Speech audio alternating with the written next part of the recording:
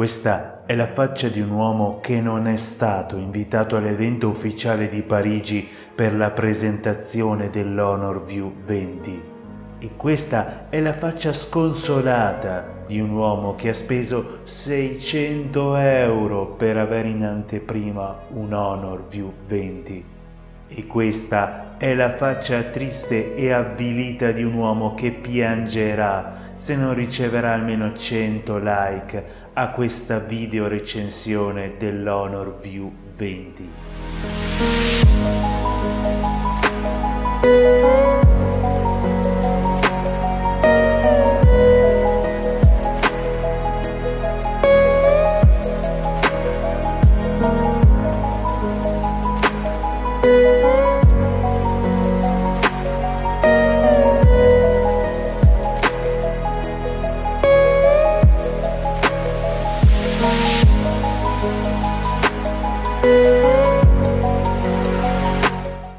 Scusate l'intro diversa dal solito, ma capite bene che dopo tutti gli sforzi, i giri fatti e i soldi spesi per avere in super anteprima questo telefono, vedere che tanti l'hanno ricevuto all'evento ufficiale a Parigi, un po' di rabbia, capite che salta fuori ma in ogni caso questo mi ha permesso di provarlo già per due settimane, un tempo secondo me necessario per capirne le sue, credetemi, incredibili qualità.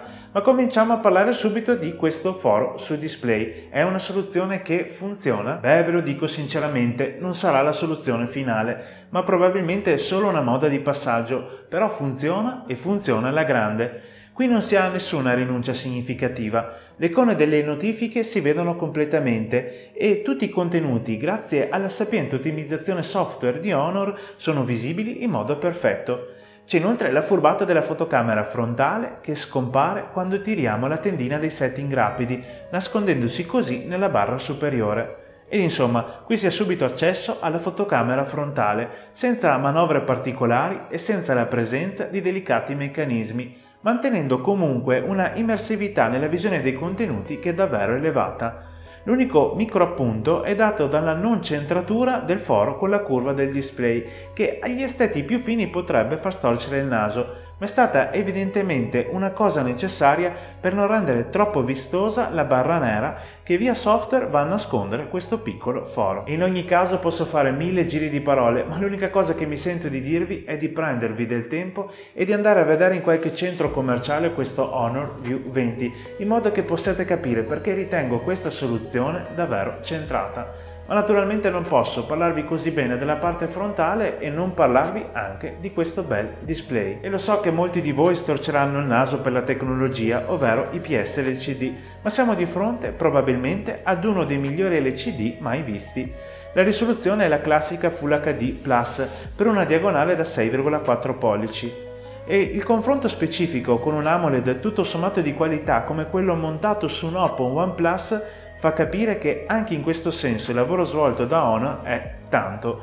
I colori sono sgargianti, saturi il giusto e se da un lato abbiamo i bianchi classici, ovvero ottimi di un LCD, dall'altro abbiamo una profondità dei neri finalmente elevata, che per un occhio normale raggiunge tranquillamente i livelli di un AMOLED. La luminosità massima è assolutamente soddisfacente, così come la minima che scende tanto da non dare fastidio. Insomma, se non fosse per questo piccolo foretto saremmo davvero vicini al frontale perfetto, anche perché le cornici sono estremamente sottili su tutti e tre i lati e leggermente meno, ma comunque tra i migliori della categoria per quanto riguarda lo spessore del cosiddetto mento. La capsula auricolare è sapientemente nascosta nella cornice superiore e, sorpresa, incorpora incorpora anche un LED di notifica, non tra i più visibili, ma comunque c'è ed aiuta. Ma questo telefono ha fatto parlare di sé non solo per questo piccolo foro nella parte frontale, ma anche per il retro con una lavorazione a V che a prima vista può lasciare un po' sconcertati. La realtà però è che questa sorta di lavorazione è molto meno visibile di quello che sembra nelle foto e risalta solo ad una certa inclinazione, rendendosi altrimenti invisibile in tutti gli altri casi. E così secondo me Honor è riuscita ad accontentare sia chi voleva un retro diverso dal solito un po' tamarro, sia chi invece voleva una soluzione più pulita. Sulla parte superiore abbiamo poi una fotocamera singola da ben 48 megapixel di cui parleremo tra poco, abbinata ad un sensore per la profondità TOF ed un flash LED. E anche qui la soluzione stilistica sinceramente la trovo ben riuscita, anche se le fotocamere fanno il solito piccolo scalino che se non usate una cover produce un fastidioso dondolio. Abbiamo poi un sensore per lo sblocco posto quasi a filo con la scocca ma messo in una buona posizione e che funziona molto bene per quanto riguarda la precisione ma non è il più rapido mai visto su uno smartphone e qui forse entriamo nell'unico reale difetto di questo smartphone ma che però potrebbe essere provvisorio. Infatti, e magari è solo una convinzione personale, trovo il sensore posteriore scomodo perché costringe per esempio ad afferrare sempre lo smartphone quando lo vogliamo sbloccare e in generale è una soluzione secondo me meno naturale. Abbiamo anche lo sblocco con il volto che potrebbe ovviare a questo problema, ma qui non ho trovato la stessa efficienza che ho visto per esempio sul Mi 8 o su OnePlus. Spesse volte infatti il volto non viene riconosciuto, anche se a dirla tutta quando lo fa è abbastanza rapido. Magari migliorerà con gli aggiornamenti software, ma un bel sensore sotto display sarebbe stato sinceramente oro colato. E sono tutte piccolezze, sia chiaro, ma in un mercato sempre più competitivo anche i dettagli fanno la differenza. E a proposito di dettagli, non lo è la presenza sulla cornice superiore di un jack audio, davvero raro, ma che per molti può fare la differenza. C'è poi una porta infrarossi che va a completare, assieme all'NFC e al Bluetooth 5.0 e ad un modulo Wi-Fi che si è dimostrato sempre affidabile, una gamma di connessioni che è davvero ultra completa.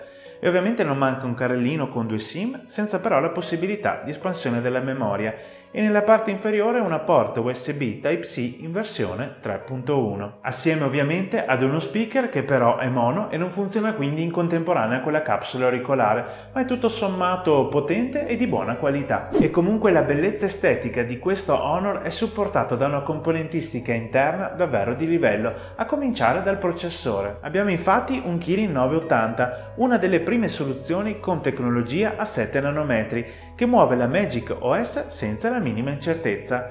Davvero sorprendente la reattività del telefono che impressiona anche per la maturità e stabilità del software. Sopporta lunghe sessioni di gaming senza scaldare minimamente. Le personalizzazioni di questa interfaccia sono molte. Sono presenti le classiche comode gesture ed è naturalmente possibile dare varie forme al telefono con i temi personalizzati, anche se alla fine sono convinto sceglierete sempre sfondi chiari per potervi guardare quel piccolo foro. Strano, ma fidatevi che se lo acquisterete farete proprio così. E questo Kirin si dimostra comunque performante anche sulla batteria da 4000 mAh, che nel mio classico utilizzo mi ha sempre permesso di coprire due giorni completi, con in totale almeno 6-7 ore di schermo acceso. È vero, questo valore potrebbe scendere leggermente, però se deciderete di disattivare il risparmio energetico su tutte le applicazioni. Infatti su questo telefono proprio il risparmio energetico è decisamente aggressivo e quindi se volete essere notificati da tutte le app e subito dovrete necessariamente andare a modificarle una a una. Io ho deciso di fare una via di mezzo, quindi con alcune app ho disattivato e con altre ho lasciato attivo e tutto sommato è una soluzione che mi ha decisamente convinto come mi ha assolutamente convinto anche il comparto fotocamere che come con Oppo sono riuscito a sfruttare alla grande realizzando oltre 200 scatti. Il software è ricchissimo di personalizzazione e di effetti e potrei fare un video di 10 minuti solo mostrandovi tutto quello che si può fare, ma gli aspetti principali sono dati dalla presenza dell'intelligenza artificiale che fa il suo e soprattutto dalla funzione ultra chiarezza disponibile nel menu nascosto. E questa quando attiva, soprattutto in condizioni di buona luce, permette di ottenere degli scatti che fino a qualche tempo fa erano inimmaginabili per definizione. Riuscirete infatti anche in foto panoramiche a cogliere i dettagli e poterle così utilizzare anche per qualche stampa più grande del solito per il resto in ogni caso non siamo di fronte alla miglior fotocamera in assoluto sul mercato, dimostrando ottime prestazioni di giorno con un autofocus velocissimo, buona definizione e nitidezza anche quando si scatta a 12 megapixel. L'effetto sfocatura sulla camera principale dona risultati estremamente piacevoli e credibili, anche se la scontornatura del soggetto deve essere migliorata.